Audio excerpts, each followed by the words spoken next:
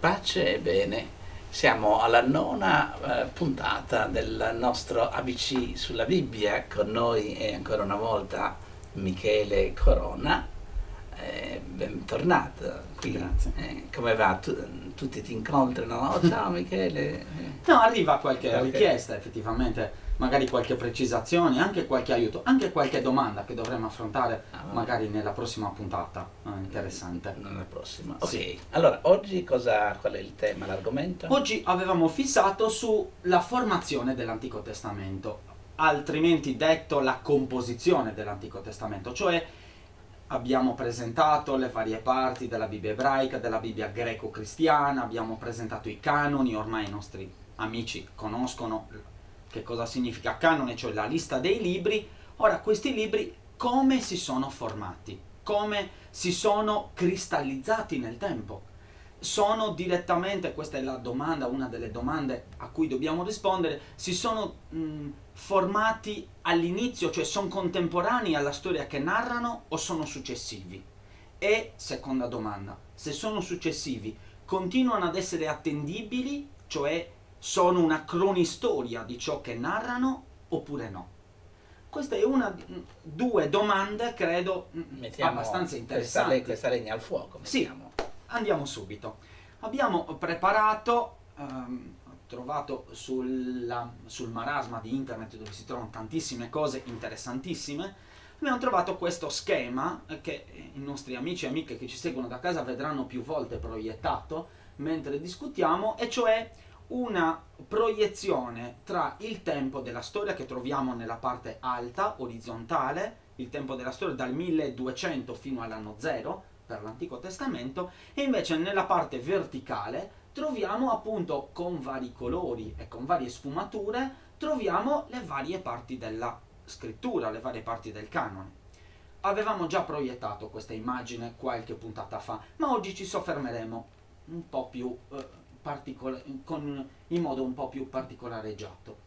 Ecco, avevamo già detto, questo credo sia il punto più importante, avevamo detto che nella storia biblica il X secolo o l'anno 1000, sappiamo che ci sono 100 anni tra queste due date, ma sono dei punti fermi utilizzati fino agli anni 70 per determinare il regno di Davide. Diceva che il regno di Davide fosse nell'anno 1000 o, ripeto, nel X secolo. Oggigiorno, avevamo già discusso con lei di questo, gli studiosi sono un po' incerti. Mettono un problema, mettono un divario di 200 anni, X secolo, VIII secolo, 1800. Una delle, eh, uno degli aspetti archeologici più interessanti sono le stalle di Salomone. Eh, Megiddo? Sì, sì, sì. Queste stalle che risultano un po' problematiche da mettere, sono di Salomone veramente o sono di Akaz? Ecco qual è il problema. Quindi se fossero invece di Akaz bisogna spostare tutto, ma non ci fermiamo hai su... parlato, hai citato l'archeologia, ma Sì, in sì. effetti tra archeologia e magari esegesi biblica c'è spesso una- una- un rapporto dialettico. Sì. eh, Direi di contrasto Di anche contrasto. spesso, certo. Ecco, su questo mm, io non ho studiato a Gerusalemme purtroppo, ma direi che eh, personalità del calibro ehm, di insegnanti di quelli delle Colby Brick, cioè dei dei domenicani e lo studium biblicum franciscanum, i francescani, sono direi le personalità che cercano di incarnare queste due anime, cioè moltissimi dei docenti che sono alle Colby Blick o allo Studium Franciscanum fanno anche archeologia e fanno anche scavi, proprio perché effettivamente si è notata questa necessità di unire scavo archeologico, cioè scoperta vera e propria, materiale, con, mi si perdonerà questo, con teorie bibliche. E mi pare che gli scavi spesso, o i risultati degli scavi, molto spesso eh, correggono quanto dicono i biblisti. Giustamente, direi. Anche perché a volte, qua osiamo un po' di più, a volte l'archeologia corregge anche la Bibbia stessa. Ad esempio, Gerico, l'esempio di Gerico di eh, Giosuè che entra nella città con il popolo e attraverso una processione cultuale cadono le mura gli archeologi affermano che storicamente non è attendibile, perché nel periodo in cui si situa storicamente Giosuè, Gerico non è stata mai distrutta. Allora troviamo che, ecco, questo credo sia appunto eh, l'idea della nostra trasmissione, del, della nostra puntata, cioè capire come la Bibbia trasmette alcune cose, come questa Bibbia è stata formata e ha cercato di dire qualche evento storico, direi non in modo cronachistico, non è una telecronaca come si fa della partita, se un attaccante perde la palla, la perde o non la perde, e colui che fa la telecronaca deve dire. E anche lì incide molto il tifo. Eh? Certo, questo sicuramente. Per alcune anche, squadre, commento, per alcune squadre l'attaccante non perde mai la palla, eh, assolutamente, c'è sempre fallo, questo è vero.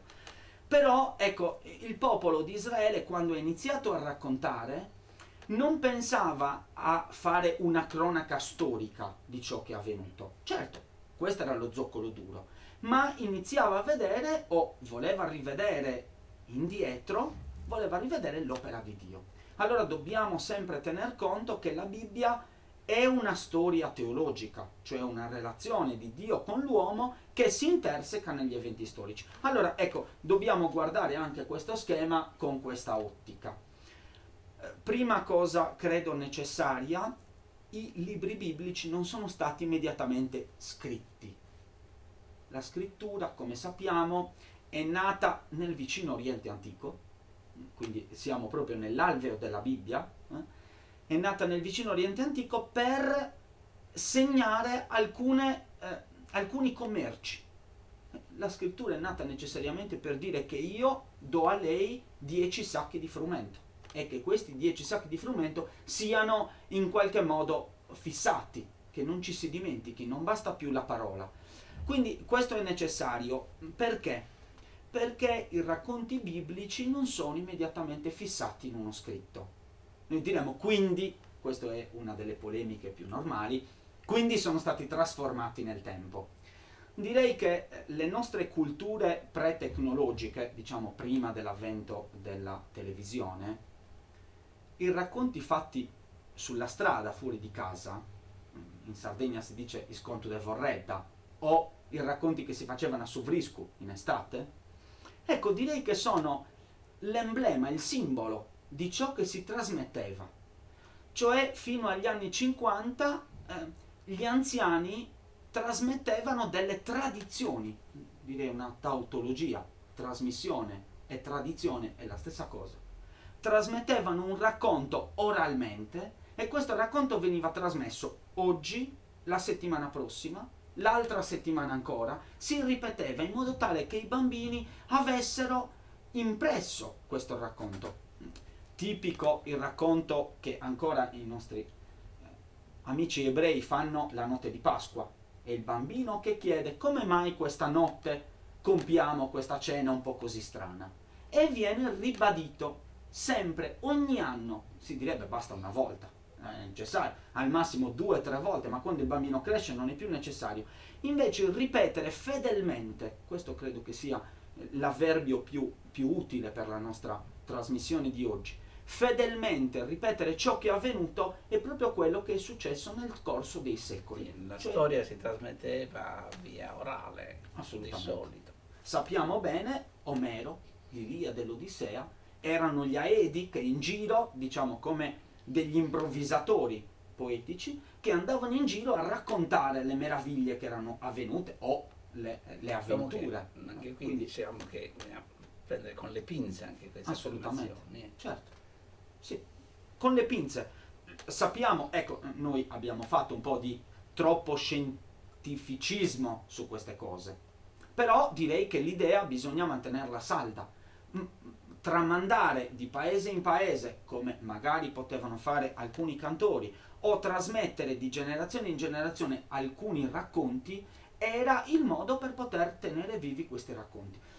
È vero, abbiamo nella Bibbia Alcune utilizzerei dei termini un po' mm, degli speleologi, delle sedimentazioni, come un minerale che si sedimenta sull'altro, che si aggiunge, che si calcifica. Ecco, la Bibbia è stato questo, credo. credo, ma eh, questo è, è certo. Basterebbe leggere alcuni racconti dove vediamo addirittura che ci sono dei termini doppi. Perché?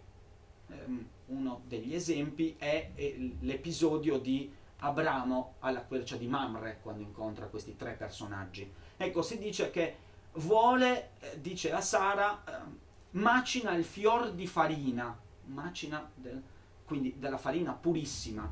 E poi a fianco nel testo ebraico c'è un altro termine che indica la farina cultuale. Quindi il fior di farina, farina cultuale, senza nessuna congiunzione. Perché si è fatto questo?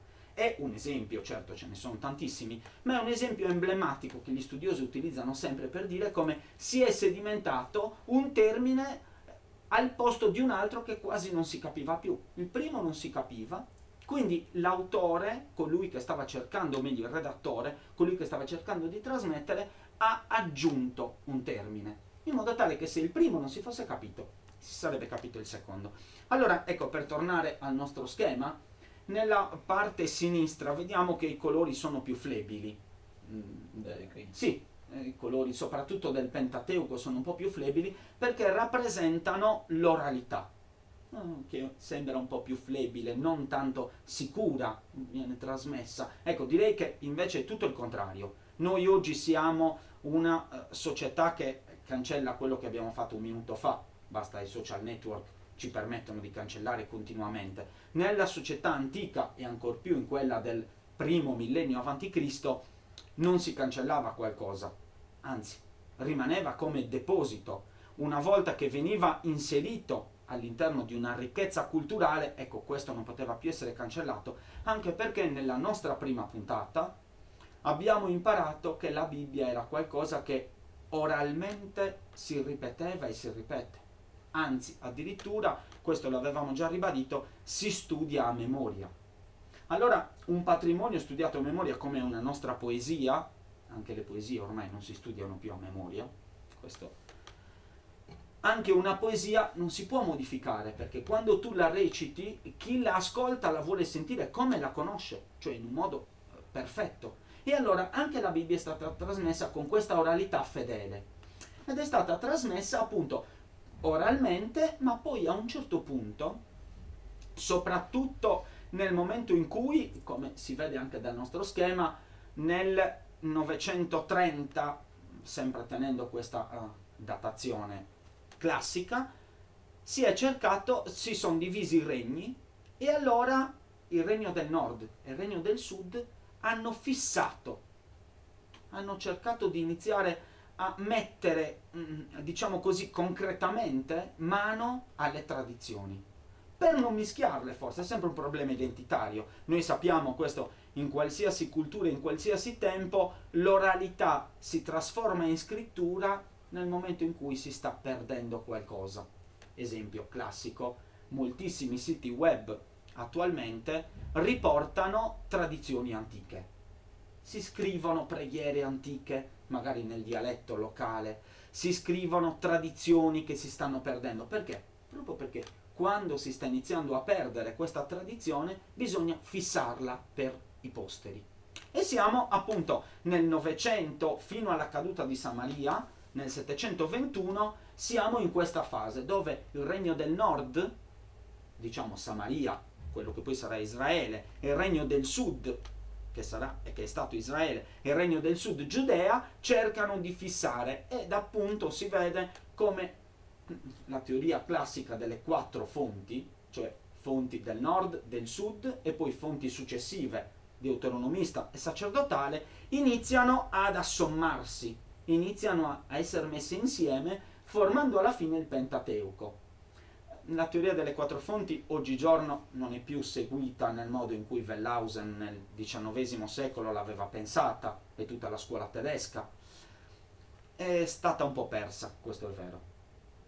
Non, non del tutto, e sarebbe un danno perderla del tutto, perché si perderebbe l'idea che la Bibbia è stata scritta, almeno l'Antico Testamento è stato scritto in mille anni da più autori in diversi luoghi. Questi tre punti credo che siano i punti fondamentali da ricordare. Non è scritta in un tempo determinato, breve, non è scritta da un solo autore, e quindi non possiamo trovare sempre concordanza, e oltretutto non è scritta in un solo luogo, ma riprende questi vari ambiti. Bene. Quindi questa è l'idea del Pentateuco, diciamo, fissato durante l'ellenismo, l'occupazione di Alessandro, e crediamo, gli studiosi credono ormai che il Pentateuco fosse, diciamo, nel IV secolo a.C., fosse fissato la Torah, come noi l'abbiamo detto. Mentre gli altri libri, e qua possiamo andare un po' più velocemente, perché il Pentateuco è sempre stata la crux degli esegeti, sempre stata, anche dei rabbini. Capire se, come la tradizione rabbinica voleva, il Pentateuco è stato scritto da Mosè, si è sempre detto così, ma se è stato scritto da Mosè, come mai negli ultimi capitoli, l'ultimo capitolo di Deuteronomio, si narra all'interno della Torah la morte di Mosè? Per quanto fosse un superuomo, credo che la sua morte non l'avrebbe potuta uh, fissare. Allora, ma non solo questo, ci sono diversi punti. E poi gli altri libri, eh, le altre parti, Nevim, i Ketuvim, e anche i deuterocanonici o gli apocrifi sono stati fissati in vari tempi. Mm, chi guarda questo schema da casa potrà vedere come i diversi colori possono aiutare a intravedere come alcuni libri sono molto successivi, sono tardivi direi, per esempio questi in viola, cioè i, I Maccabei, esatto, i Maccabei, Tobia, eccetera, Esther, eccetera, sono molto successivi e nascono anche la parte, la parte lieve, tiepida del colore è successiva rispetto al Pentateuco. Questo lo avevamo già detto e mi, mi pare una cosa da ribadire. Il Pentateuco è, come dicevano i rabbini, il cuore della scrittura. I profeti, che sono sia i primi profeti sia i secondi profeti, Nevim Acharonim, Nevim, Nevim Arishonim, Nevim Acharonim, sono quelli che vengono successivamente al Pentateuco e sono la gabbia toracica e poi c'è appunto la parte più visiva, che è quella ultima, quella che riflette su questi due depositi. Bene. Abbiamo appunto ora, eh, eh, solo per fissare ciò che abbiamo detto, le tradizioni orali sono intervenute nella formazione, nella composizione dell'Antico Testamento e poi queste tradizioni e fonti, come abbiamo detto, ad esempio le quattro fonti, ma che forse non sono quattro. Questo dimenticavo di dirlo, una cosa simpatica. Le quattro fonti come? Sono cresciute. Sono cresciute. Perché le quattro fonti sono diventate cinque e forse sei. Cioè la tradizione più giovane di queste quattro, che sarebbe questa sacerdotale, Priester Codex. Esatto. P, famosa come P, ormai viene detta P, P1 e P2. Cioè non si è cercato confondere con altri. assolutamente, ma so, è, si è allargata con alcune fonti sacerdotali o alcune tradizioni sacerdotali pare che si siano sedimentate in periodo successivo a quella nota. Direi che non è del tutto sbagliato per quel che ho potuto studiare, però ecco, il problema diventa, par- diventa nostro, non di chi studia, diciamo, in modo archeologico le fonti ma diventa nostro nel momento in cui noi leggiamo un racconto. Se rischiamo di spezzettare, come è avvenuto, sappiamo bene, di eh, dividere il racconto in modo esagerato, all'inizio si è diviso il racconto, questo capitolo è di questa fonte e questo è di quest'altra. Poi, siccome ormai si erano, erano eh, finiti questi capitoli, allora si è passati ai versetti e dai versetti poi si è passati addirittura alle parole e le parole sono state divise addirittura con diverse radici. Ecco, direi che questo è certamente un bel gioco accademico, mm, quasi un gioco da medico legale, che, che divide il cadavere in pezzi. Il gioco Lego, così si chiama. Sì, esatto. Sì. Un, proprio un Lego dove alcune, o un puzzle, che forse... È, mm, ma eh, direi che questo non è molto utile, eccetto se si fa per riuscire a comprendere in modo archeologico quali sono gli strati. Mm. Bene, eh, abbiamo altri due ambiti, e cioè i documenti giuridici, che sono certamente antichi, molto antichi, ma nella forma in cui li abbiamo attualmente, ecco, sono stati rivisti, e poi appunto i filoni narrativi, che hanno delle, hanno delle origini piuttosto locali, ma che poi si sono espansi. Ora, eh, l'ultima, credo l'ultima che cosa... acceleriamo. eh. Certo, l'ultima cosa che diciamo è appunto questo, cioè si pensava all'inizio che Mosè avesse scritto l'intera Torah, cioè l'intero Pentateuco, mentre poi abbiamo, mh, abbiamo questa fase dove si pensa che le diverse tradizioni siano, si siano assommate e siano, appunto in questo lo vediamo meglio, si siano assommate in un autore ignoto che ha cercato di riassumerle e di, eh, am- diciamo, di riassumerle e di coordinarle insieme. Bene. Michele, mi pare che qui abbiamo messo molta carne al fuoco, penso che questa tematica ritornerà nella prossima, Sì, eh, certo. nel prossimo incontro. Bene, grazie per ora, pace e bene a tutti.